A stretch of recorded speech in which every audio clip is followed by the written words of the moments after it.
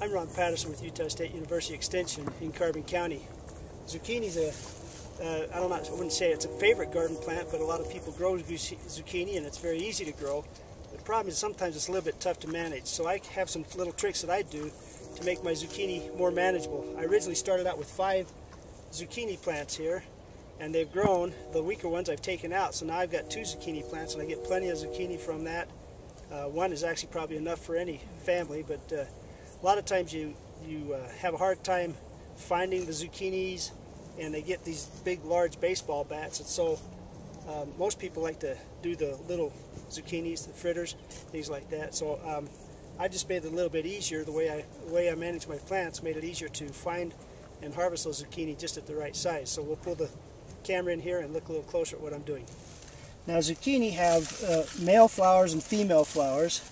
The female flowers have the fruit behind the blossom and the male flowers are just on a long stalk stem like that. Uh, some people harvest the blossoms. Uh, female flowers, once they start to fade, you can take those off. The male flowers, you don't need very many of them, so you can take those off and you can harvest those and do some some nice culinary tricks with that. But to harvest them, that's I like to get them a little bit bigger, but that's a pretty good size uh, zucchini. I use my pocket knife; it's a lot easier that way. And then just uh, I've got a zucchini ready to go. Now here's the, here's where it's planted, and I've got four main stems coming out. So what I've done is, as the plant gets bigger, I will remove the leaves as we go out, so that we've got some exposure here. You'll try to grow some more stems. Four is probably about enough for uh, normal planting, but uh, you just you, you just remove those leaves so you can see the fruit as they're growing. Now as you look here, this is the one I just took the fruit off from right here. You've got this leaf. The fruit was taken off up here, so about five or six leaves back, I just take my pocket knife and uh, cut off the leaf leaf and put it where either I'm going to compost it or throw it away.